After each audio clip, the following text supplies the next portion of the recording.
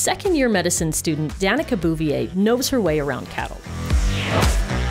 She grew up near Donnelly, where her parents ran a 550 head cattle operation.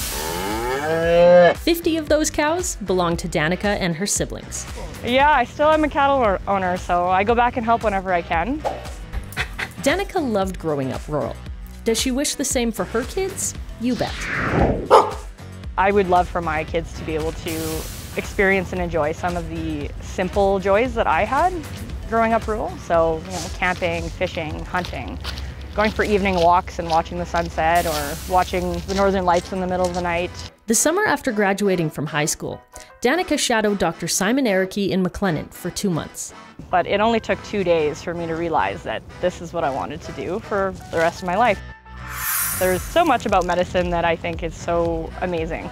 You get to build these really profound and meaningful relationships with patients. She wants to practice family medicine in a rural area, somewhere like Peace River. I really like the broad scope of practice. You get to do a lot of different things and you get to help patients in a lot of different ways. Congratulations, Danika, on being selected as a recipient of the $5,000 RhPAP Rural Medical School Award. I think it's amazing that there are scholarships like this out there. Five grand is a lot of money, and you know, with medical training costs costing what it does, it's, um, I'm so thankful and so grateful for being chosen for this.